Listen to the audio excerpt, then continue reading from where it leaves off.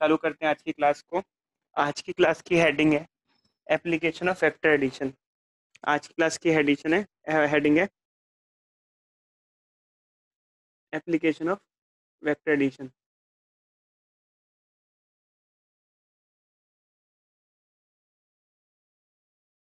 आ रहे बच्चों स्क्रीन पे?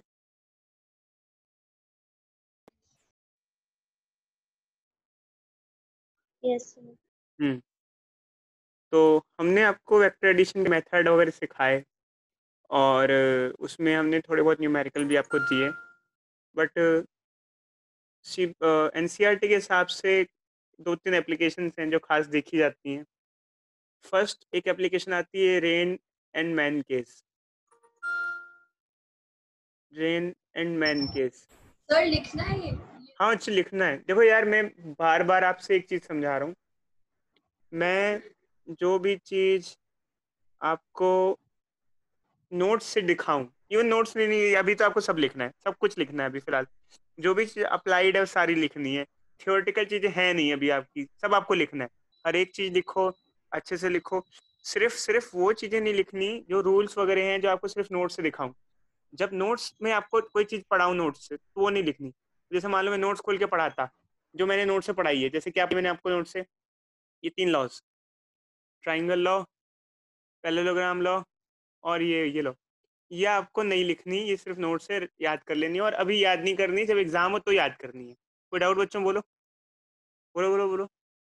और अगर कोई चीज़ ऐसी हो जिसमें मैंने सिर्फ़ टॉपिक खोला जैसे यहाँ पे टॉपिक खोला उसके बाद मैं इस टॉपिक को छोड़ दिया और मैं खुद उसको पढ़ाने लग गया तो उसमें आपको नोट से नहीं देखना है सिर्फ़ जो मैं पढ़ा रहा हूँ उसको देखना है ये सिर्फ़ टैली करने के लिए है।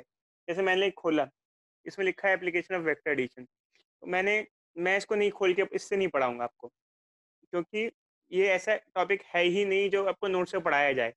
वो आपको, मैं खुद पढ़ाऊँगा, आप खुद लिखोगे। नोट्स सिर्फ़ इसलिए है ताकि आप, आपके लिखने में कुछ गड़बड़ हो जाए या आपको टैली करना हो या कुछ करना हो उसके लिए। समझे नहीं समझे? बोलो बच्चों, किसी को डाउट कोई भी थियोरटिकल चीज़ होगी, उसको मैं सिर्फ़ आपको नोट से ही बता दूँगा ऊपर ऊपर से मैंने आपको यहाँ पे कोई भी चीज़ ऐसी नहीं है जो नोट से बताई है, सारी लिख लिख के बताई है। कोई भी चीज़ अगर मैं लिख के बता रहा हूँ तो उसका मतलब उसको आपको लिखना है। जैसे कि मैंने पैलोलोग्राम लॉ नहीं लिखी यहाँ पे। ये लिखी नहीं, सिर्फ़ समझाई है। तो इसका मतलब सिर्फ़ ये आपको याद करनी है नोट से। कोई दिक्कत बच्चों? बोलो। इवन आप हर टॉपिक में चीज़ पूछ सकते हो। इवन मोस्टली जो नाइन्टी नाइन परसेंट टॉपिक अब फ़िलहाल के हैं, ये आपको लिख के खुद ही लिखने जो मैं करा रहा हूँ, उसको सीखना है। साथ साथ में लिखते रहो। कोई चीज़ होगी जो नहीं लिखनी होगी, मैं आपको बता दूँगा। चलो, आगे बढ़े। तो रेन एंड मेन के मेन केस क्या है? कि मान लो एक इंसान है, ऐसे जा रहा है। बारिश नीचे आ रही है। कैसे आ रही है बच्चों बारिश? इसे क्या बोलेंगे बच्चों, बोलो। कोई बच्चा बोलेगा इसे क्या बोलेंगे, बोलो। बारिश आ रही है वर्टिकली डाउनवर्ड आजकल बारिश का मौसम है। और मान लो हवा चल जाए हवा चल जाए तो क्या होगा बच्चों बोलो। हवा चल जाए तो क्या होगा? बारिश का एंगल बदल जाएगा वो टेढ़ी होने टेढ़ी सी लगेगी। देखो ये हो गया वेलोसिटी ऑफ़ विंड ये हो गया वेलोसिटी ऑफ़ रेन इसको वेक्टर फॉर्म में दिखाया। अब बच्चे कहते हैं सर ऐसे कैसे दिखाया? इसमें ये मैटर नहीं कर रहा आप वेक्टर को कहाँ रख रहे हो? इसमें मैटर ये करता है डायरेक्शन क्या है? क्या रेन नीचे आ रही है या नहीं आ रही है? कोई बच्चा बताए क्या गलत ड्रॉ किया मैंने इसको नीचे? Yes, नीचे आ रही थी? क्या विंड sir. क्या मान लो विंड राइट साइड चल रही है? तो बारिश कैसी हो जाएगी? तिरछी आएगी। कैसे आएगी? ऐसे आएगी। तिरछी आएगी मुँह पे। और ये एक तरीके से क्या हुआ? रिजल्टेंट। कैपिटल आ लिख दो। हमारी नज़रों में क्या हुआ ये? रिजल्टेंट। ठीक है बच्चों? तो एक्चुअली क्या होता है? अगर हवा नहीं चल रही होती है तो बारिश की स्पीड कम कम लगती है हमें। बट अगर हवा चलने लग जाती है तो बारिश तेज़ी से मुँह पे आने लग जाती है। यहाँ पर हमें दो चीज़ें निकालनी होती हैं। दो चीज़ें। फ़र्स्ट रिजल्टेंट वेलोसिटी क्या होगी? मतलब कितनी स्पीड से बारिश हमारे मुँह पे चोट करेगी। लिखना है बच्चों, सब लिखना है, मेरी बात समझो। तो थियोरटिकल चीज़ें जो सिर्फ़ होती हैं, वो नहीं लिखनी होती हैं। बाकी सब अच्छे से लिखो। यही पढ़ना है। इसी से पढ़ना है। कुछ एक्स्ट्रा नहीं पढ़ना इसके अलावा अभी फ़िलहाल आपको। दूसरा ये, कितने एंगल पे अम्ब्रेला को होल्ड किया जाए। और अपनी लैंग्वेज में लिख लिया करो हिंदी में। कोई चीज़ लगे कि भाई मुझे देख के नहीं समझ में आएगी तो उसको अपनी हिंदी लैंग्वेज में लिख लो, वहीं पे साइड में। नोट्स इसे कहते हैं, अपने नोट्स पर्सनल नोट्स फॉर्म तो ये दो चीज़ें निकालनी होती हैं। जो पहला कि कितनी वेलोसिटी से रेन आएगी, दूसरा कितने एंगल पे अम्ब्रेला होल्ड करें। देखो कितनी वेलोसिटी से रेन आएगी उसके लिए तो हम फॉर्मूला यूज़ करते हैं रिजल्टेंट वाला अंडर रूट ए का स्क्वायर प्लस बी का square plus two A B two A B cos theta ठीक है तो रिजल्टेंट को हम लोग वी आर कैपिटल आर लिख दिया हमने कैपिटल आर फॉर रिजल्टेंट एक हो गया वेलोसिटी ऑफ़ रेन का स्क्वायर एक हो गया वेलोसिटी ऑफ़ विंड का स्क्वायर आगे क्या होगा बच्चे बताओ आगे क्या होगा? प्लस प्लस क्या? Plus zero. बताओ अच्छी है का क्यों ज़ीरो क्यों? सर क्योंकि cos 90 डिग्री ज़ीरो क्योंकि रेन और विंड में एंगल 90 है और cos 90 क्या हो जाता है? ज़ीरो हो जाता है। तो ये रिजल्टेंट वेलोसिटी हो गई। ये ये फॉर्मूला हो गया किसका?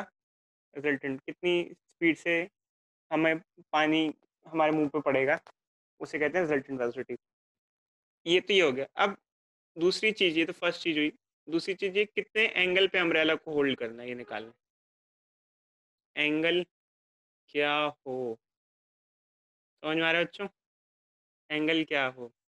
तो इसके लिए क्या करना है बच्चों? वेक्टर को ना उठा पटक की जा सकती है। जैसे मतलब दोबारा से मैं ड्रॉ कर रहा हूँ। दोबारा से मैं ड्रॉ कर देता हूँ इसको। ये हमारा वी डब्ल्यू है। ये हमारा वी आर है। ये हमारा वी रिजल्टेंट है। तीन चीज़ें हमने ड्रॉ की। हमें एंगल ये निकालना है बच्चों एक्चुअली क्या होता है देखो। अगर बारिश सिंपली वर्टिकल आती तो हम अम्ब्रेला को ऐसे होल्ड करते, ऐसे। सिंपली अगर हवा ना चलती तो अम्ब्रेला को ऐसे होल्ड करते, ठीक है? बट अब कैसे होल्ड करेंगे? उसको तिरछा करना पड़ेगा ऐसे। मतलब पहले सीधा खड़ा अम्ब्रेला था, ऐसे, उसको तिरछा करना पड़ेगा। कोई डाउट बच्चों बोलो? देखो उसका कारण ये है पहले बारिश जो आपकी आती थी वो ऐसे आ रही थी। अब बारिश ऐसे आ रही है। समझ में आया? फ़र्स्ट केस सेकंड केस बोलो भाई कोई डाउट किसी को? तिरछा अम्ब्रेला करेंगे। सम, समझ रहे हो? तो इतना एंगल बैंड करें। मतलब रिजल्टेंट की डायरेक्शन में? हाँ हाँ रिजल्टेंट की डायरेक्शन बिल्कुल ऐसे ही देखो दिखाते हैं ये। ये जो एम्ब्रेला होगा वो ऐसा पकड़ा जाएगा यूँ। यूँ पकड़ा जाएगा। ऐसे पकड़ा जाएगा। समझ रहे हो? समझे नहीं समझे जहाँ जै- जैसे रिजल्टेंट होगा रिजल्टेंट के हिसाब से पकड़ा जाएगा ना? कि अब रेन तो तिरछी आ रही है। रेन की डायरेक्शन है अब वो अब वो वी कैपिटल आर रिजल्टेंट वाली डायरेक्शन में रेन आ रही है। समझे बच्चे? या नहीं समझे? कोई बोलेगा सर। नहीं। कोई बोलेगा नहीं बोलेगा बच्चे बोलो ठीक है? Yes Yes. जबकि पहले अम्ब्रेला कैसे हुआ करता था? पहले अम्ब्रेला कैसे हुआ करता था? पहले वो बिल्कुल वर्टिकल हुआ करता था ऐसे ऐसे हुआ करता था खड़ा ऐसे। यूँ। तो हमने उसको बेंड किया। कितना एंगल बेंड किया? कितना एंगल बेंड किया? समझे बच्चों? 45 डिग्री अभी तो अच्छे अभी एंगल तो वो आएगा बट ठीक है बेंड किया। ये एंगल थीटा होगा। कोई दिक्कत बताओ अच्छे ये एंगल थीटा होगा। नो सर तो देखो अच्छे ये एंगल थीटा होगा। ये एंगल होगा बेसिकली थीटा मतलब इसके साथ हॉरिजॉन्टल के साथ एंगल बनेगा। ये एंगल थीटा हो जाएगा। ये एंगल थीटा तो ये एंगल भी थीटा ये समझ में आ रहा है बच्चों? दिख रहा है ये? इस इससे कोरिलेट कर पा रहे हो? दोनों को? समझे नहीं समझे? सम, ये समझ में आ रहा है ना चौंक? क्योंकि आपका पहले अम्ब्रेला सीधा था और वर्ट, वर्टिकल हुआ करता था। अब आपने देखो सीधा अम्ब्रेला था ऐसे। न्यू आपने उसको इंक्लाइन कर दिया। इक्वल होएगा। अभी तो बच्चों बस पहले पहले ही बताओ समझ में आया नहीं आया? आपका अम्ब्रेला वर्टिकल था इंक्लाइन किया ये समझे या नहीं समझे बोलो? यस सर अब ये ये समझ में आया कि ये थीटा है तो वो भी थीटा होगा ये बताओ। ये थीटा थीटा एंगल अगर ये थीटा है तो वो भी थीटा होगा। क्या प्रॉपर्टी बताओ बच्चों? इसे क्या कहते हैं? क्या प्रॉपर क्या ऑल्टरनेट इंटीरियर और थीटा एंगल है किसके साथ? Theta is angle of umbrella of umbrella तो वो दोनों थीटाज अलग है ना? ऑरेंज वाले और व्हाइट वाले? सेम है बच्ची दोनों थीटा सेम है। ऑल्टरनेट इंटीरियर एंगल हुए ना? हाँ सर मैंने वही बोला ना ऑरेंज वाले सेम है और व्हाइट वाला अलग है है ना? नहीं तीनों ही सेम है यार क्या बात कर रही हो? ये इसी का तो सर, सर तीस, तीसरा कैसे सर? ओवरलैप करो ना बच्ची इसको इस, इसको इसको ओवरलैप कर दो एरो एरो को दिखाया तो है। नहीं समझ रही क्या अच्छी? सेम ही तो है। ये दोनों में क्या फ़र्क है? अच्छा ठीक है सर। आ गया आ गया सर आ गया।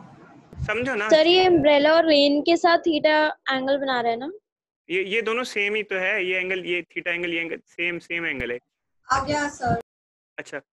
थीटा एंगल अम्ब्रेला का with vertical with vertical with vertical vertical के साथ कितना एंगल कितना आपने टिल्ट किया? देखो बच्चों देखो बात सुनो। जब हम एंगल निकालते हैं तो वो एंगल ये होता है कि आपका पहले अम्ब्रेला बिल्कुल वर्टिकल हुआ करता था। जैसे मान लो ये अम्ब्रेला था हमारा। ऐसा। सीधा था। अम्ब्रेला की स्टिक सीधी थी। स्टिक सीधी थी समझे बच्चों? नहीं समझे? ठीक है। फिर बारिश तिरछी हुई तो आपने स्टिक को टेढ़ा कर दिया। मतलब कितना एंगल बैंड कर। दिया लेटेस्ट टिक मान लो लेटेस्ट टिक आपने तीस डिग्री बैंड कर दिया। अम्ब्रेला को। ये समझे नहीं समझे? तो आप तीस डिग्री बैंड क्या बोलोगे? क्या सिर्फ़ तीस डिग्री बैंड बोलोगे या कम्प्लीटली क्या कोई और स्टेटमेंट दोगे? क्या स्टेटमेंट दोगे अगर आपने तीस डिग्री बैंड किया?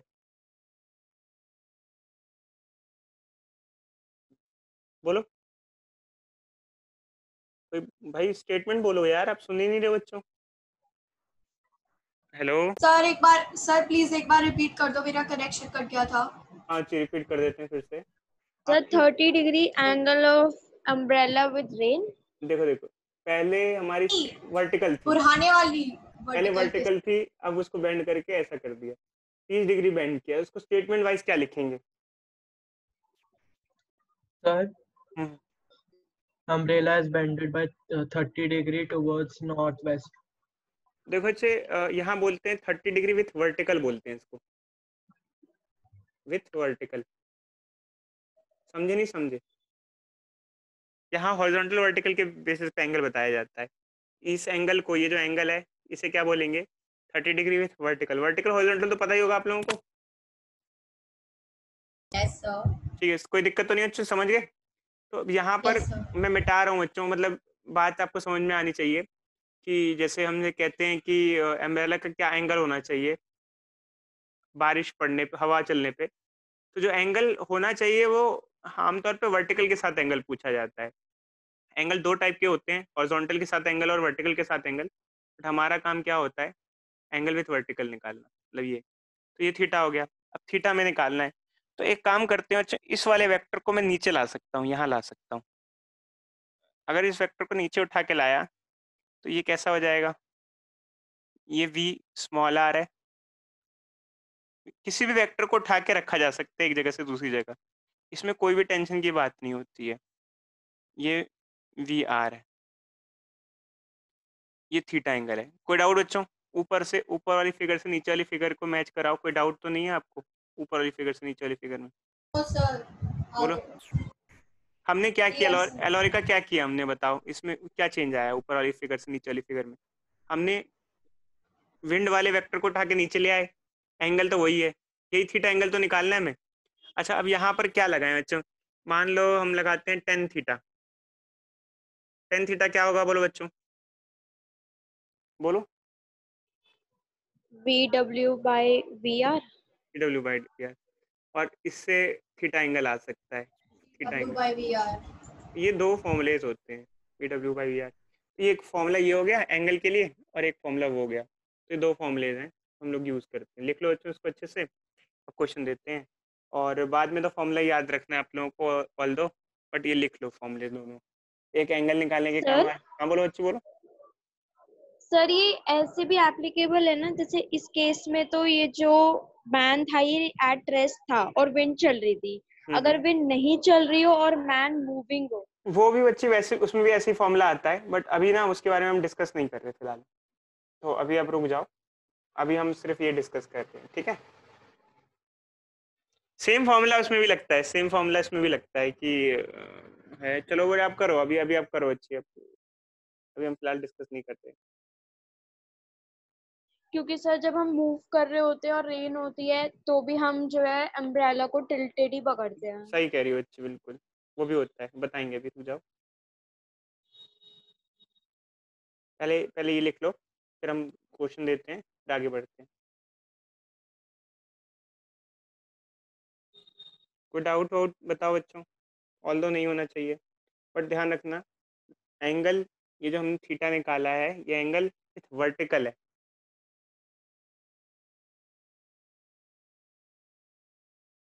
एंगल विथ वर्टिकल आगे बढ़े। बोलो भाई। है कोई? Sir. sir. Yes, sir. Hello. Formula लिख लिया क्वेश्चन दे। चलो। Question. Rain is falling with velocity velocity 5 meter per second and uh, wind speed is also 5 meter per second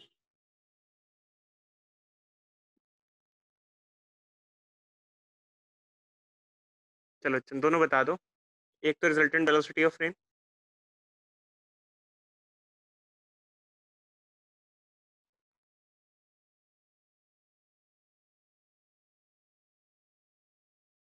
दूसरा angle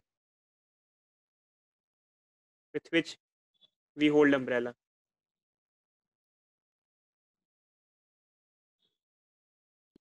Sir wind कौन से डायरेक्शन में चल रही है? उसमें बच्ची मैटर नहीं करेगा. एंगल तो सेम ही रहेगा. हमारा. Two. बच्ची आन टोटल बता दो जल्दी से. टोटल बताओ. Sir, 5 root 2 or 45 degree. हाँ अच्छा शाबाश The करो अच्छा जल्दी से। बोलो भाई हुआ? हो गया बच्चों? Yes, sir.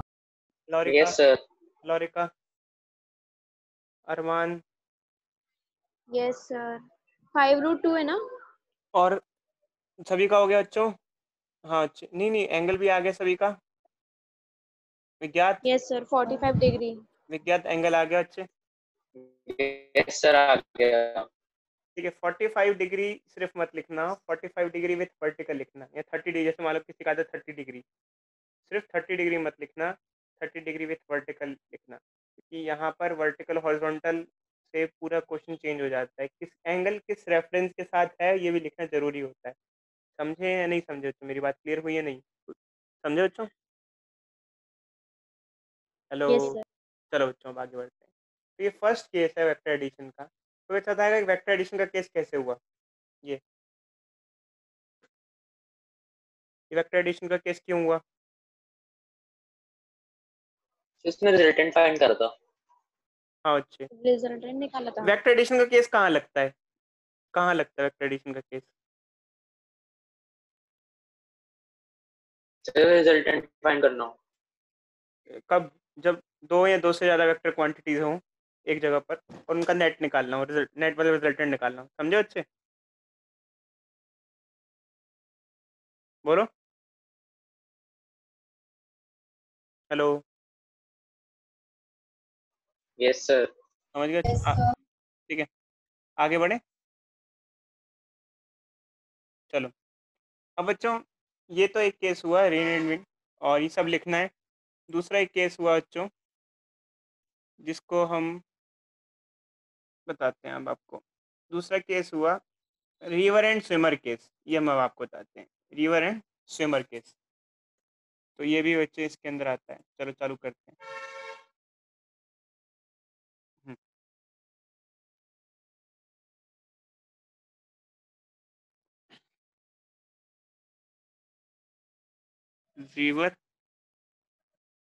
And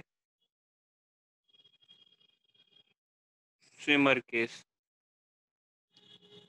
चले बच्चों। सर सर ये वेक्टर एडिशन जैसे मतलब ये ऐसे कुछ ही केसेस में होता है कि ऐसे बहुत सारे केसेस में तो लग सकता है। इनफाइनाइट इनफाइनाइट केसेस अच्छी हज़ारों केसेस होते हैं बट हमारे सिलेबस में करिकुलम में दो तीन केस दे रखे हैं बस। हर जगह लगता है वेक्टर एडिशन हमें बस दो तीन एक्चुअली क्या है दो तीन केसेस से थोड़ा समझ जाते हैं कि भाई कैसे कैसे वेक्टर एडिशन लगा सकते हैं। समझे अच्छी आगे बढ़े। Sir. एक है river river and swimmer cases में भी दो केस होते हैं एक शॉर्टेस्ट पाथ और एक शॉर्टेस्ट टाइम पहला आता है शॉर्टेस्ट पाथ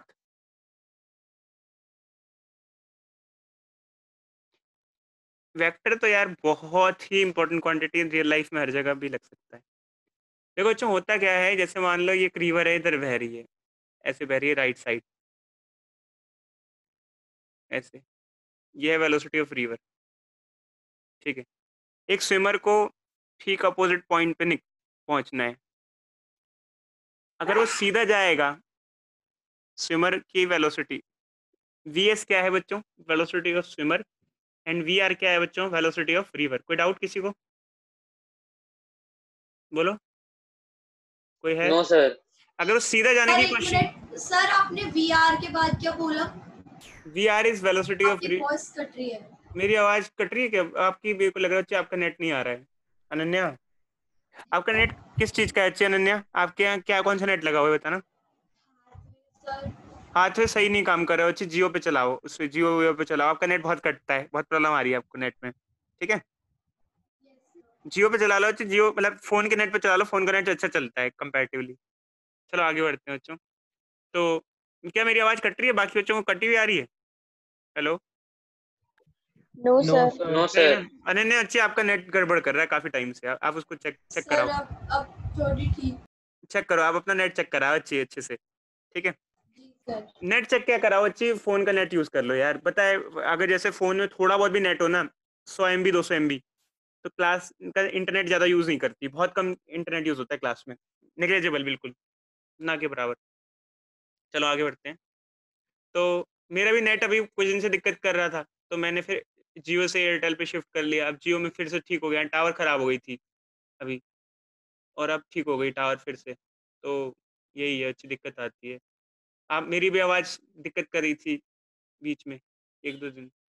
तो ये अच्छा अगर वो सीधा चलेगा इंसान तो क्या वो उस पार पहुँच जाएगा? ए से ए से भी पहुँच जाएगा या कहीं और पहुँच जाएगा?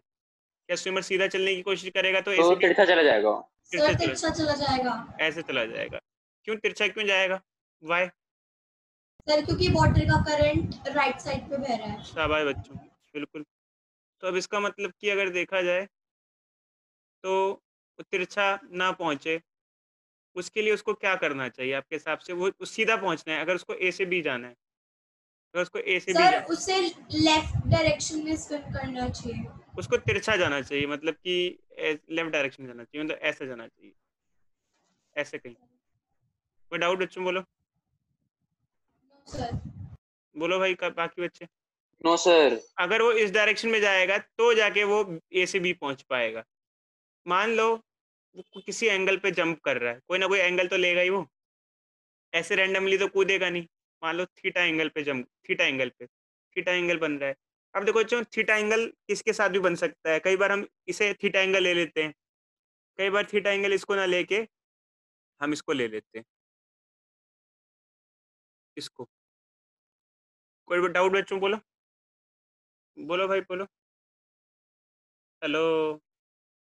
समझे. बोलिए आप।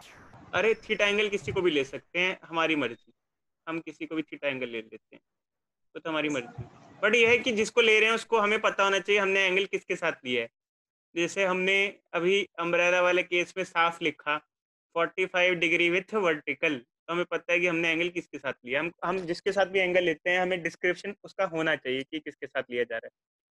अब बच्चों देखो एक्चुअली क्या है कि वो बंदा ए से बी पहुंचेगा सीधा सीधा अगर वो स्पेसिफिक एंगल पे निकला है ठीक उसी प्रॉपर एंगल पे निकला है तो ए से बी पहुंचेगा। कैसे पहुंचेगा, क्या कॉन्सेप्ट है, इसके लिए हम आपको सिखाते हैं। इसके लिए आपको रिजोल्यूशन सीखना पड़ेगा। मान लो हम स्विमर की वेलोसिटी को रिजॉल्व कर देते हैं, दो कंपोनेंट में तोड़ देते हैं। वी एस स्विमर की वेलोसिटी के दो कंपोनेंट ले लेते हैं। एक ये और एक ये हो जाएगा। एक कॉस थीटा और एक साइन थीटा तोड़ दें बच्चों रिजॉल्व कर दें। नीचे वाला हो जाएगा वी एस कॉस थीटा ऊपर वाला हो जाएगा वी एस साइन थीटा। कोई डाउट किसी को। Sine theta. कोई डाउट कोई डाउट बच्चों बोला।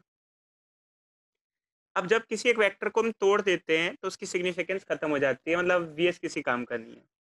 कोई डाउट बच्चों। एक काम करो बच्चों फिगर ड्रॉ कर लो। पहली फिगर भी ड्रॉ कर लो दूसरी भी फिगर ड्रॉ कर लो। फिगर कर ली पहले अब फिगर ड्रॉ कर लो अपनी फिर मैं मिटा दूँगा तो बाद में मत कहना सर मिटा दिया मिटा दिया। ड्रॉ कर लो फिगर अपनी। कर ली? नहीं मैं कर रही हूँ। करो बच्चे जल्दी करो। साथ साथ में करो जल्दी।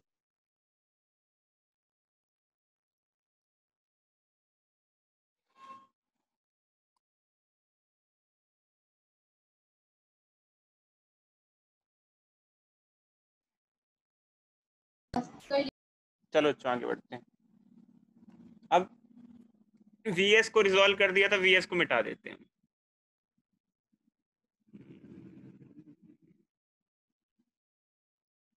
जब किसी वेक्टर को रिजॉल्व कर दिया तो उसकी सिग्निफिकेंस खत्म हो गई। अब देखो अच्छा यहाँ बात है कि ना वो बंदा राइट साइड जा रहा है, ना लेफ़्ट साइड जा रहा है। मतलब तो सीधा सीधा जा रहा है वो, ऐसे। ना राइट खिसक रहा है, ना लेफ़्ट खिसक रहा है।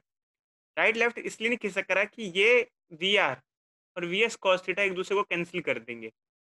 मैं फिर से बता रहा हूँ बच्चों तो जैसे एक रिवर की वेलोसिटी जो है, वो उसको राइट की तरफ़ धकेल रही है। देख रहे हो बच्चों? रिवर की वेलोसिटी उसको राइट की तरफ़ धकेल रही है और स्विमर की वेलोसिटी का कॉस कंपोनेंट उसको लेफ़्ट की तरफ़ धकेल रहा है। और ये दोनों अगर एक दूसरे के बराबर होते हैं तो ना ही वो राइट की तरफ़ जाएगा, ना लेफ़्ट सिर्फ़ सीधा जा पाएगा। ये समझे या नहीं समझे? कोई बच्चा बोले? डाउट किसी को बताओ। बोलो भाई। नो no, सर देखो। सर एक बार फिर से बोलोगे सर फिर से बोलते हैं अच्छी। देखो यहाँ पर दो एक है वेलोसिटी ऑफ़ रिवर एक है वेलोसिटी ऑफ़ स्विमर का cos component velocity of river right side धकेल रही है। ये समझ में आ रहा है? Velocity of river right side धकेल रही है। और V S cos left side धकेल रहा है। अगर दोनों ही वेलोसिटी एक दूसरे को कैंसिल कर दें तो ना बंदा राइट जाएगा ना लेफ़्ट जाएगा सीधा सीधा जाएगा सिर्फ़। ये दोनों एक दूसरे को कैंसिल कर देते हैं। कैंसिल इच अदर अरमान बताओ इससे फ़ायदा क्या होगा? उससे ज़्यादा एफर्ट नहीं लगानी पड़ेगी स्ट्रेट जा सकता है। मतलब कि राइट ना ही वो राइट साइड लुढ़केगा ना लेफ़्ट साइड डिजायर्ड लोकेशन पे जा सकता है। सीधे सीधे जाएगा वो सीधे सीधे क्योंकि राइट लेफ़्ट कंपोनेंट कैंसिल हो गया। मतलब क्या किसके बराबर था? मतलब वी एस कॉस थीटा किसके बराबर था? वी आर के बराबर था। ये समझ में आया बच्चों बोलो? ठीक है। तो इन्होंने एक दूसरे को कैंसिल कर दिया और सिर्फ़ आखिरी में बचा क्या? वी एस साइन थीटा कौन सा कंपोनेंट है जो पार लगा रहा है हमें? इस टाइम पार लगाने का काम कौन कर रहा है? ठीक है। मान लो मान लो रिवर की वेट कुछ भी है आर मान लो डब्ल्यू मान लो कुछ भी मान लो लेटेस्ट टेक आर मान लिया। ये रिवर की वेट है। ये रिवर की क्या है बच्चों? वेट है। तो कितना टाइम लगेगा रिवर क्रॉस करने में? टाइम तो टाइम होता है बच्चों डिस्टेंस बाय स्पीड कितना डिस्टेंस है रिवर का? आर डिस्टेंस है। और कितनी स्पीड से बंदा जा रहा है रिवर क्रॉस करने? वी एस साइन थीटा अब ऐसा अब ऐसा क्यों बच्चों? स्विमर की वेलोसिटी तो वीएस थी। हमने वी एस साइन थीटा क्यों लिया? स्विमर की वेलोसिटी का साइन सिर्फ़ साइन कंपोनेंट क्यों लिया? कोई बच्चा बताएगा यहाँ पर? सर सर क्योंकि कॉस्ट कंपोनेंट कॉस कंपोनेंट तो कट गया था। और वैसे भी जो साइन कंपोनेंट है वो ही सिर्फ़ ऊपर की डायरेक्शन में लग रहा है। वो ही क्रॉस कराने का काम करेगा। कॉस कंपोनेंट तो उसको लेफ़्ट साइड ले जा रहा है। क्या कॉस कंपोनेंट उसको क्रॉस करा सकता है कभी किसी केस में क्रॉस करा सकता है। कॉस कंपोनेंट का यहाँ क्या काम है? एक तरीके से लेफ़्ट साइड की तरफ़ धकेलना। साइन कंपोनेंट का काम है क्रॉस कराना। तो यहाँ कॉस कंपोनेंट वैसे भी किसी काम का नहीं अगर कैंसिल ना भी होता समझ रहे हो बच्चों? हेलो सुन रहे हो बच्चों? कैंसिल ना भी होता तो कॉस कंपोनेंट तो उसको लेफ़्ट की तरफ़ लेके जा जा रहा था। साइन कंपोनेंट क्रॉस करा रहा था। ये समझे नहीं समझे बच्चों? जैसे कोई भी एक बंदे की वेलोसिटी है। ये कुछ भी है, जैसे वेलोसिटी है, कुछ भी है, ये है वेलोसिटी ठीक है? दो कंपोनेंट हुए उसकी वेलोसिटी के, ये हुआ वी कॉस थीटा और ये हुआ वी साइन थीटा जो साइन कंपोनेंट है, वो आगे उधर ले जाने के लिए रिस्पॉन्सिबल है, उसकी रिस्पॉन्सिबिलिटी आगे की और कॉस कंपोनेंट की रिस्पॉन्सिबिलिटी इस चीज़ की है। हर बंदा अपना अपना फ़ंक्शन निभाता है। तो यहाँ क्रॉस कराने की रिस्पॉन्सिबिलिटी कौन से कंपोनेंट पे बताओ? V S sine theta V S sine theta V S sine theta ही वी एस साइन थीटा ही क्रॉस करा रहा है क्योंकि वो वही ऊपर की डायरेक्शन में रिवर को क्रॉस करने की डायरेक्शन लग रहा है। क्या बच्चों ये समझ में आ गया? फॉर्मूला वॉर्मूला लिख लो। आगे बढ़ते हैं क्वेश्चन देते हैं। कोई दिक्कत बच्चों बोलो। आगे बढ़े। हम्म। देखें क्वेश्चन देखें आगे। हेलो हाँ सर लिख लिया आप लोगों यस ने सर चलो बच्चों एक क्वेश्चन दे रहे हैं अच्छा क्वेश्चन को ना जब मैं दूँ। जल्दबाजी में आंसर मत दे देना। कोई बच्चा ऐसा ना हो कि सर ये एंगल होगा, ये ये होगा। कोई भी जल्दबाजी नहीं, ऐसा नहीं है कि आप जल्दी आंसर दे दोगे तो मैं खुश हो जाऊँगा। अगर आपका आंसर सही होगा तो मैं बताऊँगा, क्योंकि बच्चों क्वेश्चन को बहुत ध्यान से सुनना और ध्यान से पढ़ना पूरा। चलो। एक बंदे को शॉर्टेस्ट पाथ में रिवर क्रॉस करनी है।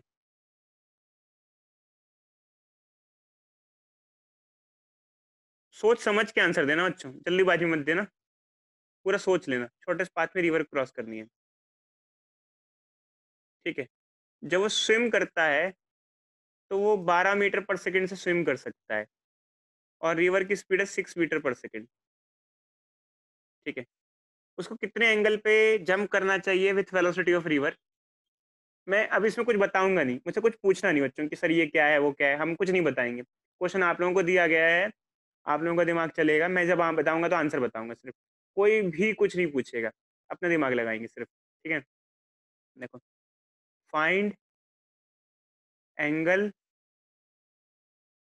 of velocity of swimmer with velocity of river for shortest path कितने एंगल पे वो चले ताकि शॉर्टेस्ट पाथ हो? और अगर ये फ़र्स्ट पॉइंट ये तो फ़र्स्ट हुआ। If width of river is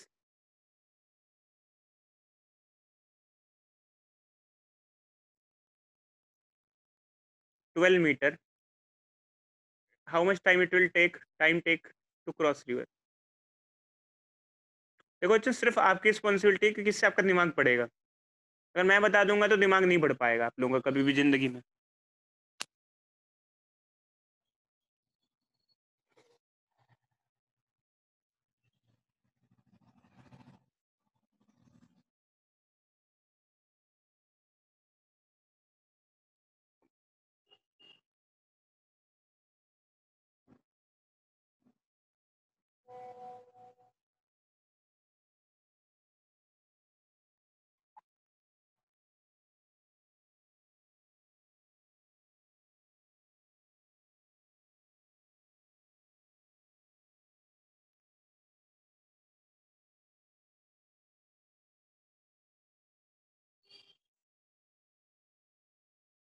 हुआ भाई?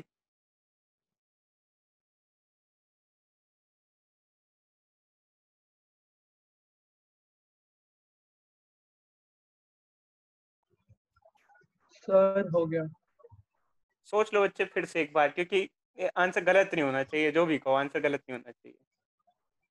जल्दबाजी में आंसर गलत मत दे देना। क्या एंगल आया आपका? सिक्सटी डिग्री नहीं बच्चे। नहीं है सिक्सटी डिग्री नहीं थीटा सिक्सटी डिग्री है। बट हम जो एंगल पूछ रहे हैं, वो सिक्सटी डिग्री नहीं है।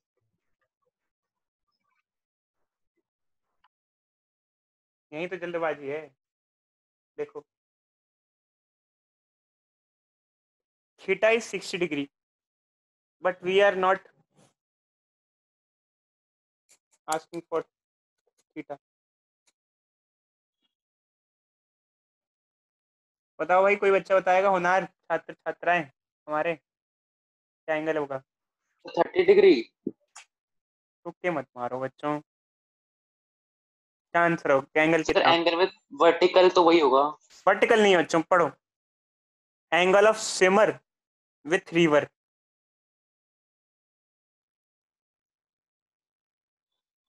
vertical नहीं है पढ़ो। फ़र्स्ट क्वेश्चन को ढंग से पढ़ो आप लोग। फिजिक्स बच्चे ऐसा सब्जेक्ट है जब तक अगर आप क्वेश्चन ही गलत पढ़ लोगे तो आंसर कहीं का कहीं पहुँच जाएगा सीधे सीधे करें? पहले बताओ आपका थीटा कितना आया थीटा कितना sixty degree. Sixty degree. Theta 60 degree शाबाश। सर एंगल शायद से 120 120 किसने बताया 120 बताओ? मेरे को लगता है। बोलो बोलो। 120 ही है बच्चे। 120 ही है। कैसे? इधर देखो। सर वो इधर देखो इधर देखो बताते हैं। 120 ही है। कैसे? इधर देखो। ये स्विमर है। ये रिवर है। ठीक है। हमने इस एंगल को अभी अभी थीटा माना था जो कि 60 डिग्री आया। बट मैंने आपसे कौन सा एंगल पूछा है? क्वेश्चन में दोबारा झांको। और देखो मैंने कौन सा एंगल पूछा है। मैंने कहा स्विमर और रिवर का एंगल स्विमर और रिवर के बीच का एंगल कौन सा है? ये वाला एंगल पूछा है मैंने क्वेश्चन में आपसे पता है? समझे नहीं समझे? बोलो भाई बोलो। अरे बोलो यस सर यस ये ये एंगल पूछा है मैंने आपसे और ये एंगल लीनियर पे लगाओगे तो 120 डिग्री आएगा। तभी मैं आपसे लोगों से बार बार पहले ही कह रहा था कि जब भी करना क्वेश्चन को सोच समझ के करना डायरेक्ट आंसर दोगे गलत हो जाएगा। 60 डिग्री थीटा है, थीटा कुछ भी नहीं है यार, थीटा कौन सा एंगल है? थीटा बस थीटा है ओनली थीटा। बट हम यहाँ पे आपसे पूछे, सिमर और रिवर का, सिमर रिवर के बीच का एंगल यहाँ पे ये वाला एंगल है, ये वाला एंगल 120 डिग्री है। समझे, नहीं समझे?